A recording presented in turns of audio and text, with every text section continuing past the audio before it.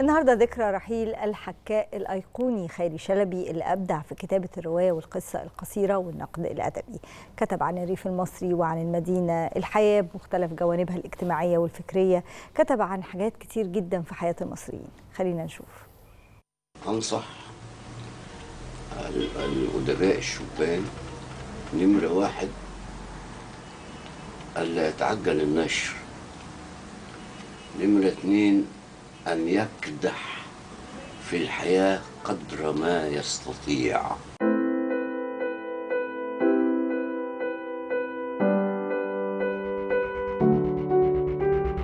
في مثل هذا اليوم رحل عن دنيانا أديب معجون بالموهبة.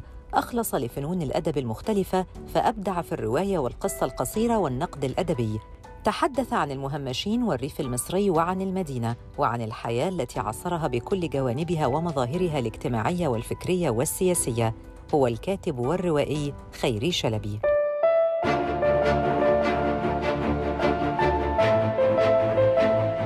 ولد خيري شلبي في الحادي والثلاثين من يناير عام 1938 في قرية شباس عمير بمركز قلين بمحافظة كفر الشيخ.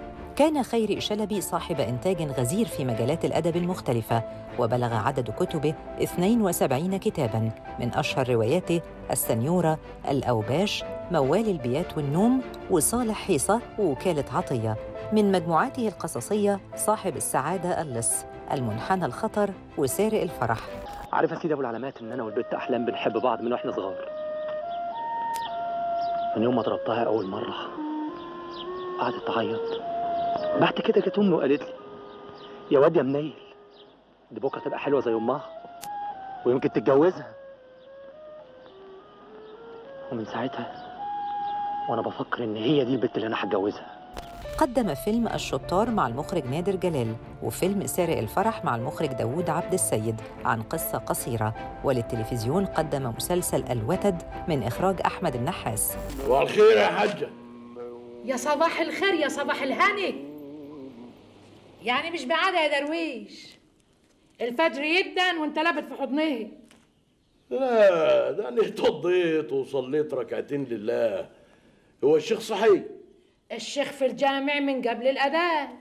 هو في حد زي الشيخ طلبي حبيب أمه؟ النبي أشرف خليقة الله.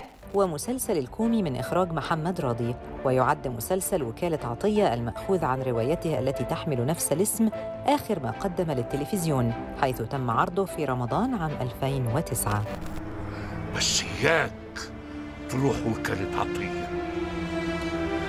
بقول لك كده وأنا عارف إنك هتروح والدود هياكل في جتتك. やったら